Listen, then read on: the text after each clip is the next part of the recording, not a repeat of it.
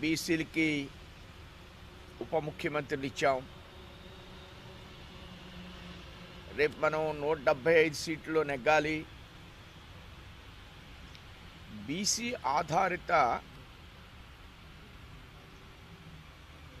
Review సమావేశాల్లో ముఖ్యమంత్రి గారు ఎక్కువగా ఈ అంశాలని ప్రస్తావిస్తున్నారు.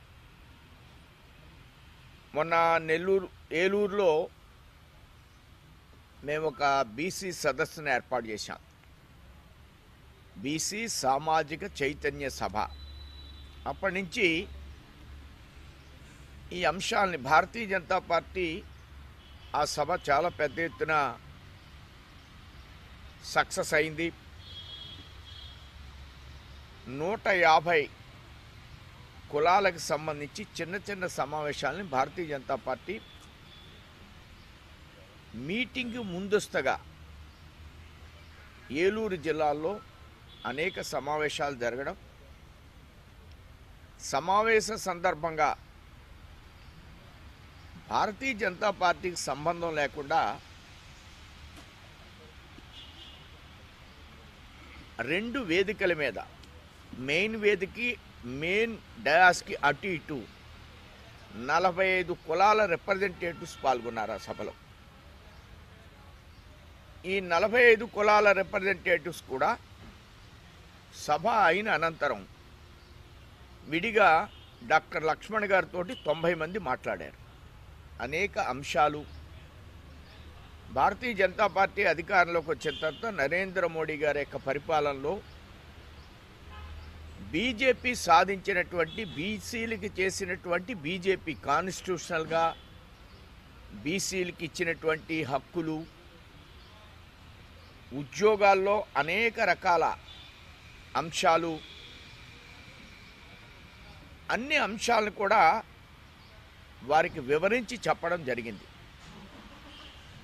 బీసీలకి చరిత్రలో ఇంత పెద్ద ఎత్తున ఏ ప్రభుత్వం చేయలేదనేటువంటి విషయాల్ని చాలా స్పష్టంగా చెప్పదగ్గ అంశాలు నరేంద్ర మోడీ గారి యొక్క నాయకత్వంలో జరిగిన విషయాల్ని వారందరికీ తెలియజేస్తున్న సందర్భంలో అందరూ కూడా బీసీలకి నిజమైన అధికారం నిజమైనటువంటి ధైర్యం నిజమైనటువంటి రాజకీయ సంకల్పం ఆంధ్ర రాష్ట్రంలో భారతీయ జనతా పార్టీ ఇస్తుంది అనేది స్పష్టంగా తెలియజేయడం జరిగింది. కొన్ని రాజకీయ పక్షాలు అధికారంలో ఉన్నటువంటి రాజకీయ పక్షాలు గతంలో కానీ ఇప్పుడు కానీ ఈ సమావేశానికి ముందే చాలా పెద్ద ఎత్తున మేము గతంలో బీసీలకి ఇది చేశాం. అనేది వారి వైపు నుంచి ఒక ప్రచారాన్ని అయితే మొదలుపెట్టారు. టీటీడీ బోర్డులో చేశాం. అలానే ఈ ప్రభుత్వం ఉప ముఖ్యమంత్రులు చేశాం. మేమైతే చెప్పడానికి అనేకమైన అంశాలు ఉన్నాయి భారతదేశంలో ఒక బీసీని ప్రధానమంత్రి చేయడం మూలంగా ఈవేళ ప్రపంచ దేశంలోనే జీ ట్వంటీ లాంటి దేశాలు మనల్ని గౌరవిస్తుంటే భారతీయులందరూ కూడా ఈరోజు తల ఎత్తుకునే విధంగా ప్రపంచ దేశాల్లో బీసీని ప్రధానమంత్రి చేసి దేశ ఆర్థిక పరిస్థితిని నిలబెట్టి. ఈవేళ అనేక దేశాలకి దేశాల్లో ఈవేళ ఆర్థిక పరిస్థితుల్లో మనం బ్రిటన్కి మించి ముందుకు వెళ్ళడం. అంటే ఎలాంటి పరిపాలన చేస్తే ఎలాంటి వారికి అధికారాన్ని భారతీయ జనతా పార్టీ ఇస్తే దేశానికి ఈ గౌరవం వచ్చింది. మీరు బీసీలకి ఇచ్చినటువంటి బాధ్యతల మూలంగా ఆంధ్ర రాష్ట్రంలో ఏమి గౌరవం వచ్చింది? జగన్మోహన్ రెడ్డి జగన్మోహన్ రెడ్డి బంధువులు వాళ్ళకి అధికారం వచ్చింది. చంద్రబాబు నాయుడు గారికి చంద్రబాబు నాయుడు గారి అబ్బాయికి అధికారం వచ్చింది. వాళ్ళ అబ్బాయికి ఎమ్మెల్సీ ఇచ్చాడు ఆయన మంత్రి అయ్యాడు. ఆయన అధికారాన్ని చెలాయించాడు. అట్లా ఇవాళ జగన్మోహన్ రెడ్డి గారు వాళ్ళ కుటుంబంలో ఉన్న వాళ్ళందరూ కూడా వాళ్ళ వర్గానికి సంబంధించిన వాళ్ళకి అందరూ కూడా ఆ బాధ్యతలు ఏమీ తేడా లేకుండా ఈ కుటుంబ పరిపాలన పరిపాలిస్తున్నాయి. బీసీలు పేరు చెప్పుకుని చీఫ్ సెక్రటరీ ఎవరు డీజీపీ ఎవరు గతంలో ఏం జరిగింది? ఇవన్నీ బీసీలని ఆధారం చేసుకుని అధికారంలోకి వచ్చి అవినీతి చేయడం అభివృద్ధి లేకుండా చేయడం అప్పులు పాలు చేసే రాజకీయాల్ని వేళ ఆంధ్ర రాష్ట్రాన్ని అభివృద్ధి లేకుండా చేసే విధానాన్ని భారతీయ జనతా పార్టీ రాబోయేటువంటి రోజుల్లో తెర మీదుగా తీసుకొస్తుంది. బీసీలను అడ్డం పెట్టుకుని అధికారంలోకి వచ్చి అరాచకాలు చేస్తే అదే బీసీలకి అదే బీసీలకి అదే వర్గాలకి నిజమైన అధికారాన్ని ఇస్తూ మేము ఇరవై నాలుగులో రాజకీయాలను ముందుకు తీసుకువెళ్తామని వీడ ఆంధ్రప్రదేశ్లో ముఖ చిత్రంలో రాజకీయ ముఖ చిత్రంలో ప్రస్తావించాలి. ఆ విధంగా ముందుకు వెళ్ళాలి. ఆ విధంగా ఆంధ్ర రాష్ట్ర అభివృద్ధికి పునాదులు వేయాలి. ఇది బీజేపీ యొక్క సంకల్పం.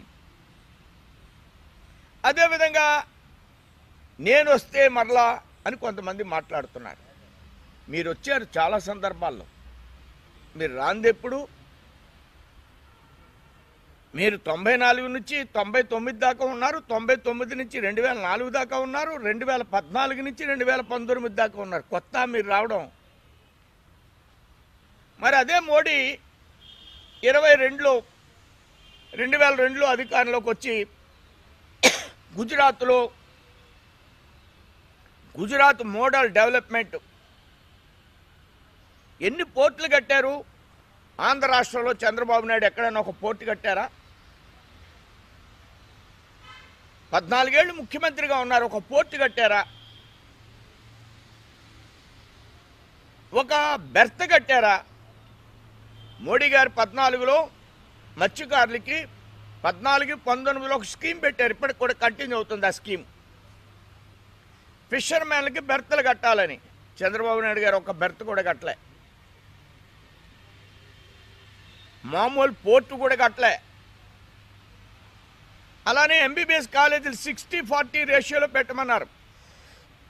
ఒక్క కాలేజీ కూడా పెట్టలే. అంటే నేను వస్తే మరలా ఏదో చేస్తాను. ఈయన ఇప్పటి వరకు కేంద్రం ఇచ్చినటువంటి ఆర్థిక సహాయంతో మాత్రమే ఆంధ్ర రాష్ట్రాన్ని ఆ యొక్క ఫైనాన్షియల్ సోర్సెస్ని ఉపయోగించుకుని మాత్రమే ఆంధ్ర రాష్ట్రంలో పరిపాలన చేస్తున్నాడు ఈ ముఖ్యమంత్రి. వనరుల్ని ఇసుక దోపిడీ సిలికాన్. గూడూరులో సిలికాన్ని దోచుకుంటూ అనాదిగా పట్టాలున్నటువంటి రైతుల్ని వాళ్ళ దగ్గర నుంచి కూడా ఆ భూములు లాక్కుంటూ ఈవేళ ఒక నెలకే ఎనిమిది కోట్ల నుంచి అది పద్నాలుగు కోట్లకి వెళ్ళింది ఇప్పుడు. ఒక వ్యక్తికి ఇస్తున్నారు సిలికాన్ దోపిడీ చేస్తూ. కింద స్థాయిలో ఉన్నటువంటి చిన్న చిన్న రైతుల్ని కొన్ని గ్రామాల్లో స్ప్రింగ్ వాటర్తో నీళ్ళు ఊరితే దాంట్లో వ్యవసాయం చేసుకునే వాళ్ళని వాళ్ళని తప్పించి ఆ భూముల్లో కూడా ఈ సిలికాని తవ్వుకునేటువంటి విధానం దౌర్జన్యంగా తవ్వుకునేటువంటి విధానం రాత్రుళ్ళు పగలు కూడా ఖాళీ లేనటువంటి విధానం. నెలకి పద్నాలుగు కోట్లు ఈ ప్రభుత్వంలో ఉన్నటువంటి ఓ పార్టీ వ్యక్తికి ఇచ్చేటువంటి విధానం. ఇట్లాంటి ఇసుకలో ల్యాండ్లో శాండ్లో వైన్లో అవినీతి చేస్తూ రాష్ట్రాన్ని దోచుకుంటూ ఇండస్ట్రియలైజేషన్ని ఏమాత్రం కూడా అభివృద్ధి చేయకుండా అప్పులు చేస్తూ అవినీతి చేస్తూ ఈ కుటుంబ పరిపాలనకి వ్యతిరేకంగా ఈవేళ నరేంద్ర మోడీ గారు ఆంధ్ర రాష్ట్రంలో చేస్తున్న అభివృద్ధి ఇచ్చే నిధులతో మాత్రమే ముఖ్యమంత్రి సమక్షంలో విశాఖపట్నంలో బహిరంగ సభలో పదిహేను పదహారు వేల కోట్ల అభివృద్ధిని ప్రకటించారు ఇనాగరేషన్ చేశారు. అంటే ఆ ముఖ్యమంత్రి సమక్షంలోనే ఆయన మూడు రాజధానులు అంటే నువ్వు రాజధానికి ఐదు వందల కోట్లు కూడా ప్రకటించలేదు ఈ ముఖ్యమంత్రి. కానీ ఆ రోజున విశాఖపట్నం ఆధారం చేసుకుని పదివేల కోట్ల రూపాయలు కంప్లీట్ చేసిన ప్రాజెక్ట్స్కి శంకుస్థాపన ప్రారంభోత్సవం చేశాడు ఆయన. ఈ విధంగా అభివృద్ధి అనేది అన్ని ప్రాంతాల్లో కూడా అభివృద్ధి చేస్తున్నామనేటువంటి ఎజెండాతో మేము ముందుకు పెడతామని మీ ద్వారా తెలియజేస్తున్నాను.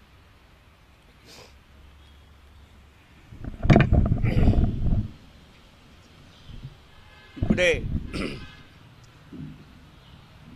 ఏపీ బీజేపీ అధ్యక్షులు సోమవీరాజు గారు చెప్పినట్లుగా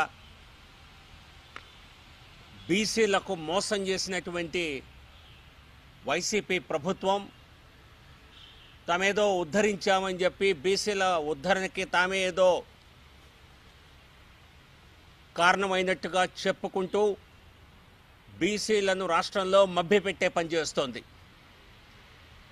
రేపు బీసీ జయహో పేరిట మరి మీరు ఏం సాధించారు? ఏం సాధికారత బీసీలకు ఇచ్చారని చెప్పి జయహో అని పెట్టుకుంటున్నారు. ఇది బీసీల కంట్లో కారం కొట్టం కాదా? వారిని మోసం చేయటం కాదా? మీరు నిజంగా పెట్టవలసిన పేరు భయహో బీసీ. ఎందుకంటే మీరు బీసీలపై దాడులు చేస్తూ మొన్న పుంగనూరులో ఏ విధంగా రామచంద్ర యాదవ్ గారి ఇంటిపై దాడి చేసి వందలపై మీ కార్యకర్తలు రౌడీలాగా వెళ్ళి దాడి చేసి హతమార్చాలని ప్రయత్నం చేస్తే పోలీస్ యంత్రాంగం చోద్యం చూస్తూ నిల్చుంది. ఇదేనా మీరు బీసీలకు ఇచ్చేటువంటి న్యాయం బీసీలకు ఇచ్చేటువంటి గౌరవం? ఇటువంటి ఒక పక్క దాడులు చేస్తూ బీసీల్ని భయభతి భయభీతుల్ని చేస్తున్నటువంటి వైసీపీ వెనకాల బ్యానర్ మార్చుకోవాలి. భయహో బీసీ. మా పాలనలో ఖచ్చితంగా అందరినీ భయపెడతాం. బీసీలను కూడా వదిలిపెట్టాం అని చెప్పి పెట్టుకోండి. నిజంగా మీరు బీసీల మంచి కోరేవారైతే బీసీలకి నిజమైన సాధికారత కలిగించేవారు కానీ ఉత్తుత్తి కార్పొరేషన్లు పెట్టి దానిలో కనీసం టేబుల్స్ కుర్చీలు కూడా లేకుండా పేరుకు మాత్రం కార్పొరేషన్లు పెట్టి బీసీలను వంచారు. నేను ముఖ్యమంత్రి గారిని జగన్మోహన్ రెడ్డి గారిని స్వయంగా అడుగుతున్నాను. సమాధానం చెప్పండి. యాదవులకు మీరు ఎన్ని పదవులు ఇచ్చారు? మత్స్యకారులకు మీరేం న్యాయం చేశారు? చేనేత కార్మికుల ఎమ్మెల్యేలు ఎంతమంది ఉన్నారు? నిజమైన సాధికారత అనేది ఎమ్మెల్యే టిక్కెట్ల పైన ఉంటుంది. మీరు ఎంతమంది ఎమ్మెల్యేలకి బీసీలో ఏ సంఖ్యలో ఉన్నారో రాష్ట్రంలో యాభై శాతానికి పైగా ఉన్నటువంటి బీసీలకు మీరెన్ని సీట్లు ఇచ్చారు? ఇదే ప్రశ్న టీడీపీ వారిని కూడా అడుగుతున్నాను. ప్రధాన ప్రతిపక్షం బీసీలకు మీరెన్ని టికెట్లు ఇచ్చారు? ఎమ్మెల్యే టికెట్స్ ఎన్ని ఇచ్చారు? ఉత్తుత్తి పదవులు కార్పొరేషన్ పదవులు కట్టబెట్టామని కబుర్లు చెప్పటం కాదు. నిజమైన సాధికారత మీలో మీ ఎవరి నుంచి ఇచ్చారు? ప్రధానమైనటువంటి చేనేత ప్రాంతాల్లో కూడా ఆఖరికి చేనేత చేనేత కులాలకు చెందిన వారికి పద్మశాలీలకు టికెట్లు ఇవ్వలేదు. సో ఒకవైపు బీసీలపై యాదవులపై దాడులు చేస్తూ వారికి ఎటువంటి పదవులు ఇవ్వకుండా మీ ప్రభుత్వంలో అడ్వైజర్స్ ఎంతమంది నియమించారో కనీసం ఆ లిస్టు బయట పెట్టండి. మీరు సలహాదారులుగా నియమించి లక్షల రూపాయలు ప్రతి నెల ధరపోస్తున్నటువంటి వారి పేర్లు చదివితే అన్ని మీ సామాజిక వర్గానికి చెందిన వారే. దాదాపుగా అందరూ బీసీలకు ఎంతమందికి ఇచ్చారు? సో ఈ అసలైన రాజకీయ సాధికారత గురించి మాట్లాడకుండా మీరు కేవలం మరి మభ్యపెట్టే రాజకీయాలు చేసి జయహో జయహో అని స్లోగన్స్ ఇచ్చినంత మాత్రాన ఇక్కడ ఎవరు నమ్మబలికేవారు లేరు. ముందుగా రామచంద్ర యాదవ్ గారిపై పుంగనూరులో జరిగిన దాడికి ఈ బీసీ సభ ద్వారా బహిరంగ క్షమాపణలు చెప్పాలి వైసీపీ నాయకత్వాన్ని ముందుగా డిమాండ్ చేస్తున్నాను. బీసీ నాయకులు ఎవరిపై ఇటువంటి దాడులు చేసినా ఖచ్చితంగా భారతీయ జనతా పార్టీ దాన్ని నిందిస్తుంది మిమ్మల్ని నిలదీస్తుంది. ఈ రెండు పార్టీలు కూడా తమకున్నటువంటి వైసీపీ టీడీపీ కూడా బీసీలకు మీరు ఇచ్చిందేంటి మీ వలన వారు సాధించింది ఏంటి? ఉత్తుత్తి పదవులు అల అలంకారప్రాయమైనటువంటి పదవులు ఎవరికి తెలియని ఉప ముఖ్యమంత్రుల పేర్లు వాటితో కాదు నిజమైన సాధికారత అన్న ఈ విషయాన్ని ఖచ్చితంగా దీనికి ఇది రాజకీయ ఎజెండా అవ్వాలి వచ్చే ఎన్నికల్లో. మరి అధ్యక్షులు వీర్రాజు గారు చెప్పినట్టుగా ఇటువంటి సభలు అనేక ప్రాంతాల్లో బీజేపీ నిర్వహించి నిజమైన సాధికారత కోసం ప్రయత్నిస్తోంది. కాబట్టి ఈ భయహో బీసీ కార్యక్రమాల్లో ఖచ్చితంగా భయపెట్టినటువంటి భయభ్రాంతులు చేసిన బీసీలందరికీ క్షమాపణ చెప్పాలని చెప్పి భవిష్యత్తులో అన్న వారికి న్యాయం చేస్తామని భరోసా ఇవ్వాలి స్పష్టమైన ప్రణాళికతో ముందుకు రావాలి లేకపోతే మిమ్మల్ని నమ్మరు బీసీలు నమ్మరని తెలియజేస్తున్నాం.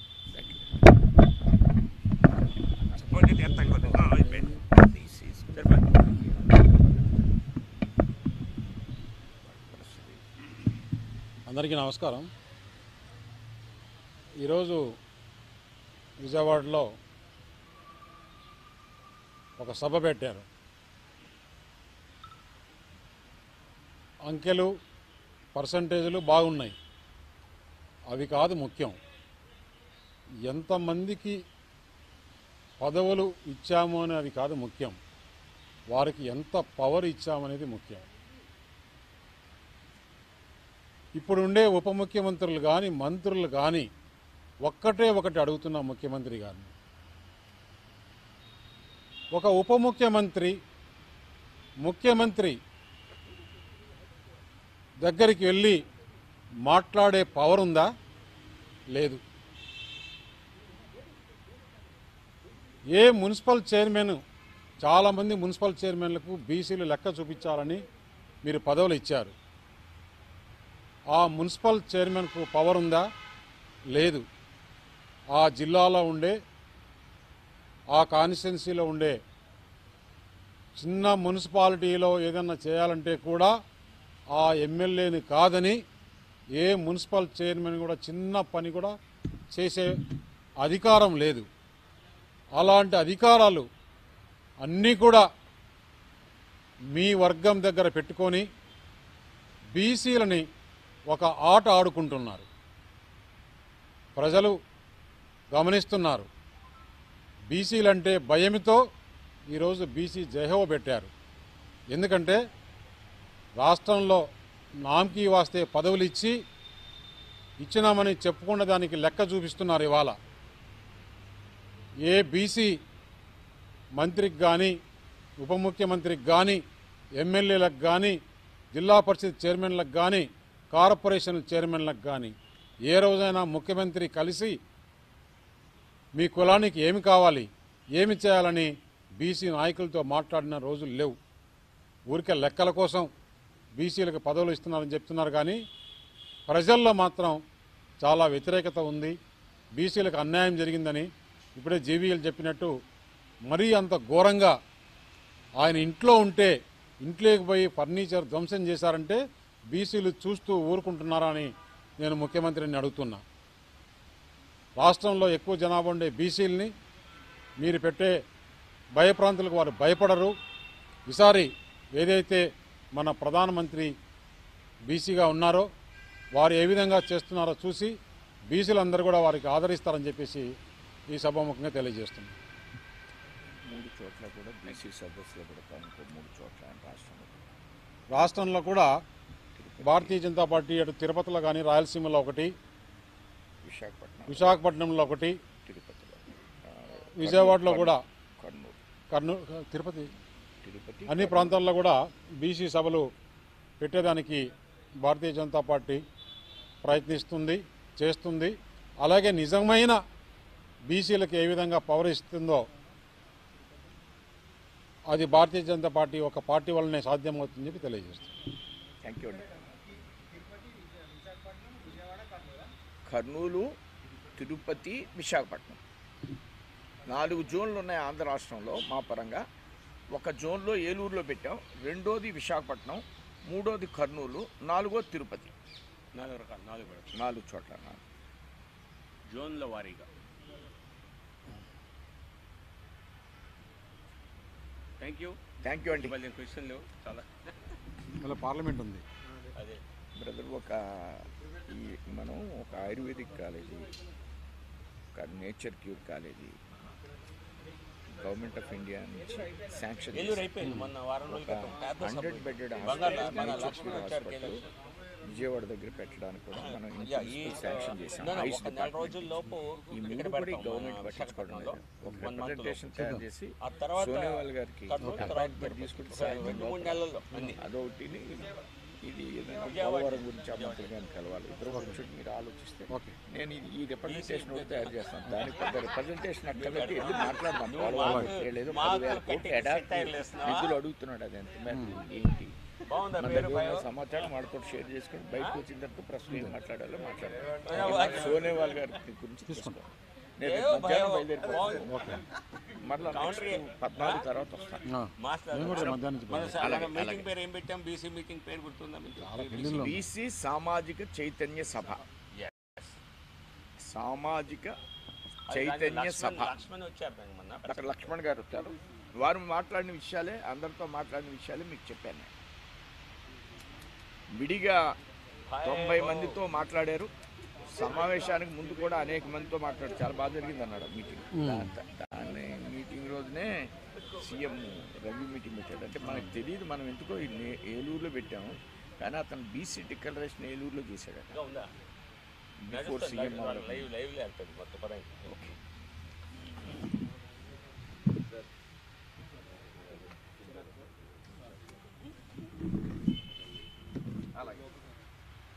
సంజీవ్?